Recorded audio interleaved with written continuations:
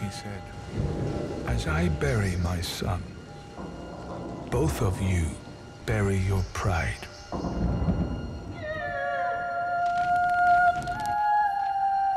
Why did he die? When they killed my darling, they killed me too.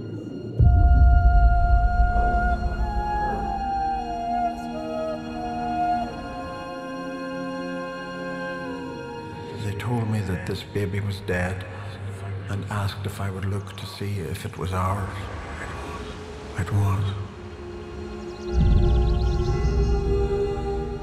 Do you know what you have done?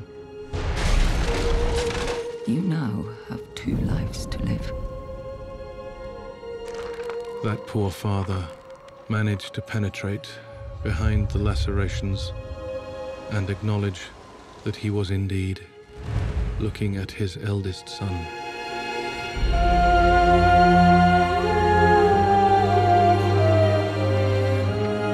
I kept pleading with him to hold on, hold on. Jesus loves you. Please, let our next generation live normal lives.